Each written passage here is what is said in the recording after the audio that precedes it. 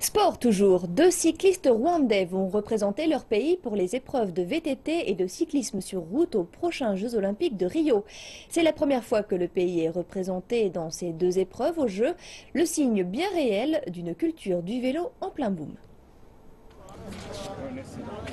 Ces dernières années, les conditions de la pratique du cyclisme se sont grandement améliorées au Rwanda. Le Tour du Rwanda, la course vedette du pays, voit sa réputation grandir chaque année et est maintenant intégrée aux épreuves africaines de l'Union cycliste internationale. En 2016, deux cyclistes représenteront le Rwanda aux Jeux olympiques d'été de Rio de Janeiro. Nathan Byukusenga, 35 ans, s'est qualifié pour l'épreuve de VTT. Quand j'ai commencé à faire du vélo, mon rêve était de bien faire au niveau national et régional, et maintenant je suis content d'avoir la chance de concourir pour les Jeux olympiques. Je vais me mesurer aux meilleurs cyclistes du monde.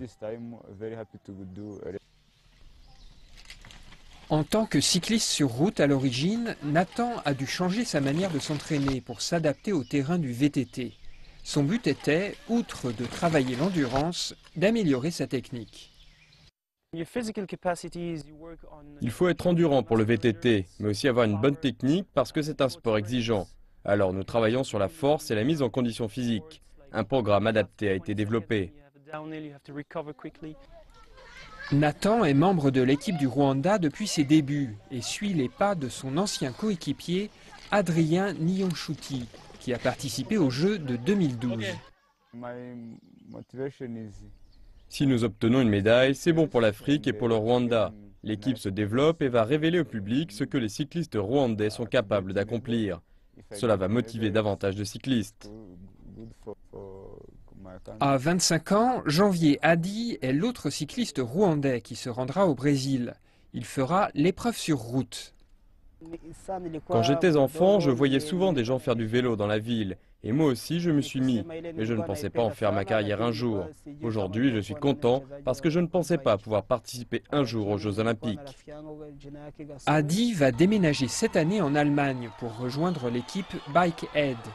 Il espère que cette expérience lui permettra d'améliorer encore sa technique et le rendre plus compétitif pour Rio. Je sais que les Jeux seront difficiles, mais ce sera bon pour engranger de l'expérience. Je ne veux pas participer qu'une seule fois au jeu. Je veux y revenir. Janvier et Nathan représentent les progrès que le pays a fait dans ce sport. Un exemple de la renaissance du Rwanda après le génocide. Le cyclisme, c'est une question de culture, davantage européenne qu'africaine d'ailleurs.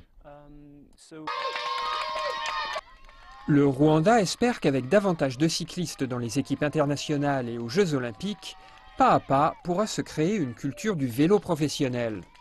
Mais dans l'avenir immédiat, les yeux sont sur Rio, avec l'espoir que les deux cyclistes feront honneur à leur pays.